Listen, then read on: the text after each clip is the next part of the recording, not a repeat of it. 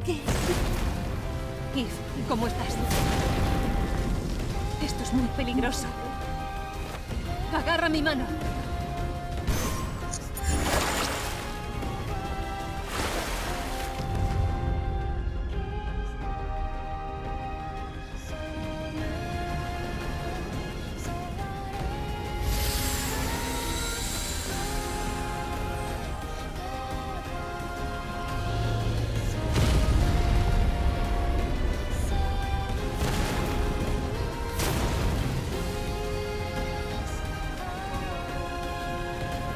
De encuentro es por izquierda. Yo me encargo de este. Por fin tenemos aquí la demo del esperadísimo Stellar Blade disponible en PlayStation 5 desde hace aproximadamente una semana y en el día de hoy vamos a ver qué nos ofrece este Stellar Blade que sale en menos de un mes y por qué ha generado tanta polémica en los últimos días. Así que bienvenidos a las primeras impresiones de la demo del esperadísimo Stellar Blade.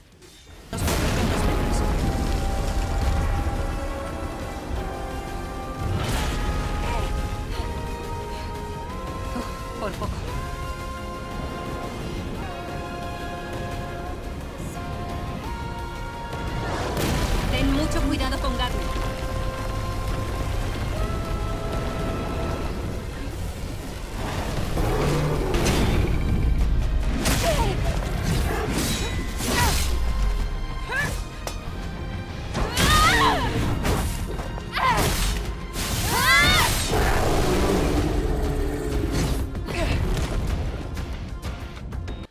Y bien, ¿qué nos ofrece la demo de Stellar Blade? Dura aproximadamente una hora, tiene dos modos de dificultad, modo historia y modo normal, donde ya pues requiere pues un poquito más de, timing a la hora de hacer pues tanto contraataques como esquivas, aunque tiene una ventana bastante permisiva, no llega a ser un juego demasiado difícil. Sí que pues te pueden matar algunas veces, como me ha pasado a mí, pero creo que es bastante accesible pues para todo el mundo, ¿no? Que quiera adentrarse en esta aventura del estudio surcoreano. Pues bien, eh, la demo, como digo, pues dura una hora, tiene eh, la primera parte de la campaña más el boss final del primer capítulo y luego cuando terminamos esta, esta demo tenemos un boss extra, el cual podemos desafiar y donde tenemos ya pues más habilidades eh, pues para probar un poquito más las las mecánicas de juego, un poquito más avanzada la historia. Como digo, la jugabilidad es una maravilla, pero quiero recalcar pues también el apartado técnico. Tiene tres modos de juego, modo rendimiento, modo equilibrado y modo calidad. El de calidad funciona bastante mal, tengo que decir. Un juego tan rápido como este no puede jugarse a 30 FPS, pero el resto de modos, tanto el equilibrado como el de rendimiento, funcionan muy bien. Técnicamente ya lo estáis viendo, una pasada, tiene un montón de partículas, gráficamente pues es bastante, bastante bueno, me sorprende. Y, y bueno, eh, ¿Qué más? Pues tenemos también varios trajes para elegir. Hay algunos trajes, como el traje, el, traje de piel, pues que quita el escudo y te matan mucho antes. Eso añade un punto de dificultad extra. Y en tema de jugabilidad también una maravilla. Tiene vibración el DualSense, tiene también un sonido bastante bueno. Yo jugando con los Pulse 3D, pues la verdad sorprende bastante. Y también sorprende muchísimo que un juego como este esté totalmente doblado al español. Imagino que será pues gracias ¿no? a que Sony está detrás ya sabéis que Sony pues invierte bastante en este tipo de, de, cosas que a muchos nos importan. La verdad es que yo siempre agradezco que esté pues la versión doblada en, en castellano. Pues para todo aquel que no tenga un inglés fluido, como puede ser mi caso, pues poder jugar sin tener que estar leyendo pues demasiado texto. El juego mezcla pues gran variedad de géneros y lo hace de manera muy muy solvente.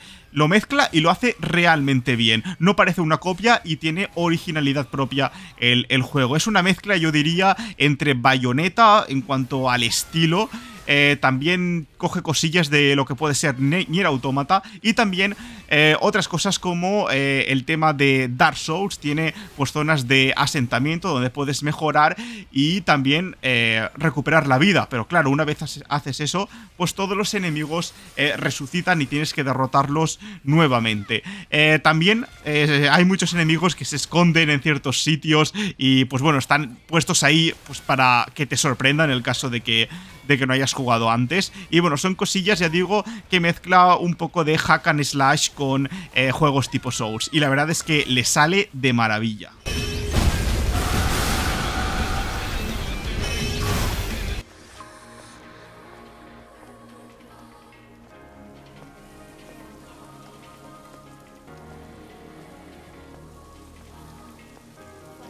El juego además no es solo combate, mezcla zonas de puzzles, tienes que ir pues investigando ciertos rincones del escenario para conseguir códigos y poder abrir cofres y conseguir demás bonificaciones. Además tiene zonas de plataformeo que no me esperaba para nada y puede resolver de diferentes, de diferentes maneras. También tiene zonas acuáticas. Estas zonas de... Eh, acuáticas, estas zonas de puzzles, tienen cierto parecido a las zonas que podemos encontrar, por ejemplo, en The Last of Us, ¿no? Intentar acercar una plataforma para poder llegar a la escalera y superar la fase. La verdad es que pintan muy, muy bien, porque así no es solo combate y tienes más cosas que hacer en un escenario tan currado como puede ser este, y creo que añade un poco de variedad a lo que es este Stellar Blade.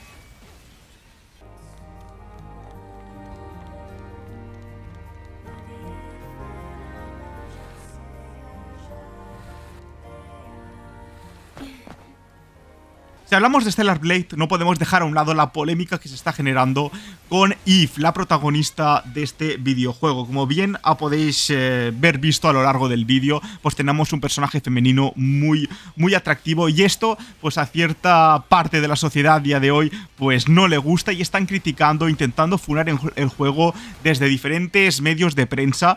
No sé si sabéis lo que es Sweet Baby Inc., pero os lo voy a resumir rápidamente para quien no lo sepa. Es una empresa subvencionado por gobiernos y por demás empresas multimillonarias que se dedica a cambiar las historias originales de los juegos y hacerlas más inclusivas. Ya sabéis, metiendo personajes negros, transgénero o el tema este de Spider-Man 2 de Le Doctor Young. Cosas políticas que no tienen nada que ver con los videojuegos. Pues bien, eh, esa parte de la sociedad woke está intentando pues desprestigiar este juego y justo está consiguiendo todo el efecto contrario, está haciendo que más gente se interese, más gente reserve y más gente compre este juego y estoy seguro de que va a ser pues un total éxito. Así que bueno, yo Sinceramente espero que triunfe porque yo he jugado la demo y personalmente me ha gustado muchísimo. La he rejugado 4 o 5 veces y está muy muy bien. Os recomiendo que si tenéis una Play 5 le deis la oportunidad y yo creo que, que gustará a la mayoría. Así que nada, si os ha gustado este vídeo ya sabéis, dejad un like, un comentario